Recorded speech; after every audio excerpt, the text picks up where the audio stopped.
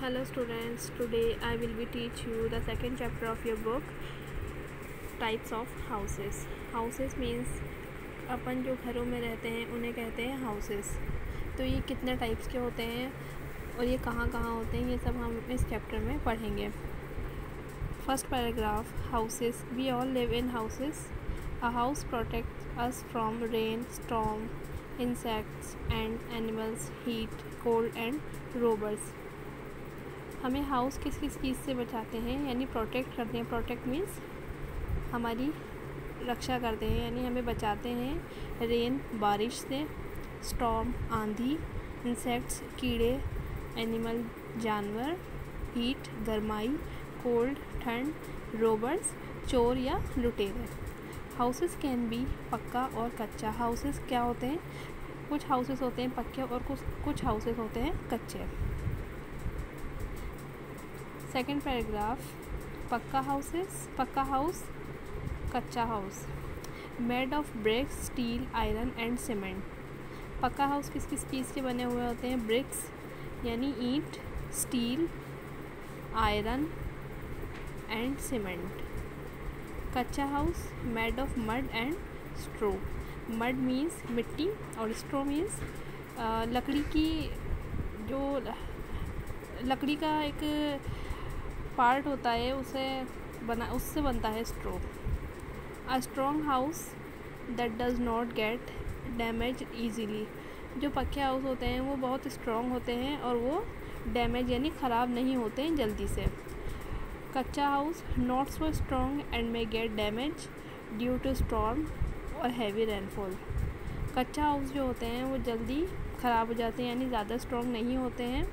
और उनको ज़्यादा खतरा रहता है ख़राब होने का, जैसे कि आंधी वगैरह से और भारी बारिश होती है, यानी हैवी रेनफॉल तो इस वजह से वो ख़राब हो जाते हैं। Built mainly in towns and cities pucca house कहाँ कहाँ बने हुए थे, होते हैं टाउन्स एंड सिटीज़ में।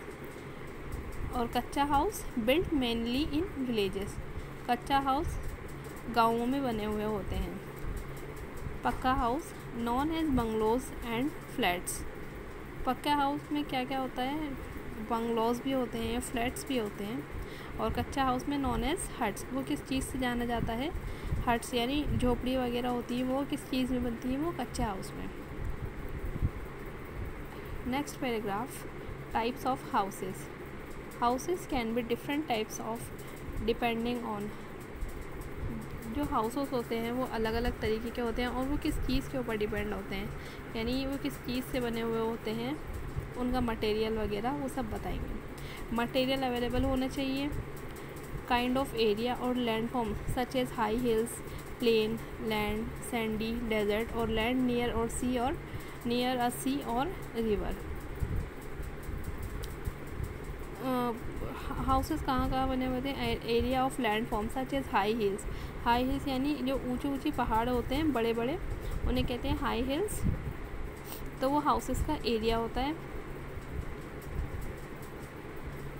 प्लेन प्लेन लैंड यानी फ्लैट लैंड होनी, होती है. सैंडी डेजर्ट और लैंड नियर अ सी और रिवर ये नदियों के पास भी बने हुए होते हैं और समुद्र के पास भी बने हुए होते हैं. स्पेस एंड मनी अवेलेबल घर बनाने के लिए स्पेस स्पेस होना चाहिए और मनी अवेलेबल होना चाहिए। तो इस वजह इस तरीके से हमारे types of houses paragraph complete होता है। Bungalow a bungalow is a very big house it has many rooms most bungalows have gardens in front of the house bungalow जो होता है वो बहुत बड़ा घर होता है। उसमें बहुत सारे रूम होते हैं। बहुत से मंगलों में बाहर गार्डन होता है। Next paragraph apartments there is not enough space in towns and cities इसके लिए काफ़ी स्पेस चाहिए होती है। So houses are often built one on top of the other जब अपार्टमेंट्स बनते हैं तो वो एक के ऊपर, एक के ऊपर एक बनता है। टॉप ऑफ़ द अदर एक, यानी एक एक अपार्टमेंट बनेगा, फिर उसके ऊपर दूसरा बन जाएगा, फिर तीसरा बन जाएगा, यानी एक इनफ स्पेस के अंदर ये बनता हुआ चला जाएगा। Such houses are known as flats और अपार्टमेंट्स कुछ हाउसेस फ्लैट्स और अपार्टमेंट्स होते हैं। यानी कुछ हाउसेस को फ्लैट्स और अपार्टमेंट्स भी कहा जाता है। यानी हाउसेस कुछ इस तरह बने हुए होते हैं। नेक्स्ट है stilt house stilt house are found in places where it rains a lot stilt houses वहाँ बने हुए होते हैं जहाँ काफ़ी बारिश आती है। रेंस अलॉट बहुत बारिश आती है वहाँ बने हुए होते हैं these houses are build on long poles called stilts so that rain water can not enter them such houses have sloping roofs which help the rain water to slide down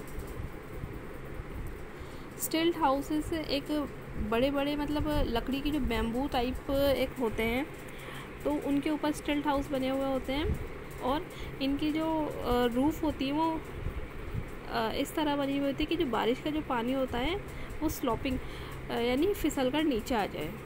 इस तरह बनी हुई होती है और इस एरिए में बारिश ज़्यादा होती है तो ये हाउसेस ऊपर की तरफ़ बनते हैं तो जो नीचे जो एरिया बचता है, वहाँ से पानी जा सकता है, यानी बारिश का पानी जा सकता है। Next paragraph house boats these are house houses build on boats we can find house boats in places where there are many lakes and rivers in India beautiful house boats are found in Kashmir and Kerala house boat वो होते हैं जो कि boat के ऊपर house बना हुआ होता है। और ये हमें कहाँ मिलते हैं? लेक्स और रिवर के पास। जहाँ बहुत सारी झील और नदियाँ होती हैं। वहाँ पर आपको हाउस बोट मिल जाते हैं। इंडिया के अंदर सबसे खूबसूरत हाउस बोट कहाँ पाए जाते हैं? कश्मीर और केरला में। इग्लूज। नेक्स्ट पैराग्राफ है, igloos. Inuit live in igloos these houses are made of ice blocks they are found in very cold places of the world these places are snow covered throughout the year and the snow never melts igloo में Inuit इनविट इनविट रहते हैं। और ये ice के blocks ही बने हुए होते हैं और ये बहुत ठंडी जगह पर पाए जाते हैं। वर्ल्ड के अंदर बहुत ठंडी जो कंट्री है, उसमें ही पाए जाते हैं ये। ये एक स्नो से बने हुए होते हैं, पूरा स्नो कवर्ड होता है और ये पूरे साल इसकी बर्फ़ नहीं पिघलती है। नेक्स्ट है tents. People who wander from one, people who wander from place to place. Live in houses known tents जो लोग इधर से उधर जाते रहते हैं। Place to place live in houses known as tents और वो टेंट्स में रहते हैं। तो उसे वो tents tents are made of a strong cloth called canvas tent किस चीज़ का बना हुआ होता है? एक मोटे कपड़े का बना हुआ होता है स्ट्रॉन्ग क्लॉथ का बना हुआ होता है, जिसे कि कैनवास कहते हैं। These houses can be removed and folded quickly and carried from from place to place ये हाउसेज कहीं भी ले जा सकते हो आप जल्दी से फोल्ड करके और कहीं भी आप इसको एक प्लेस से दूसरी प्लेस पर ले जा सकते हैं। Soldiers and travellers live in a tents tents में कौन रहते हैं? सोल्जर और travellers caravan caravans are house houses on wheels they can be driven from one place to another caravans जो होते हैं, वो व्हील यानी पहियों के ऊपर बना हुआ होता है, वो house they can be driven यानी एक गाड़ी की तरह एक घर होता है। उसमें सब कुछ फैसिलिटी अवेलेबल होती है, जो कि एक प्लेस से दूसरी प्लेस पे ले जाया जा सकता है।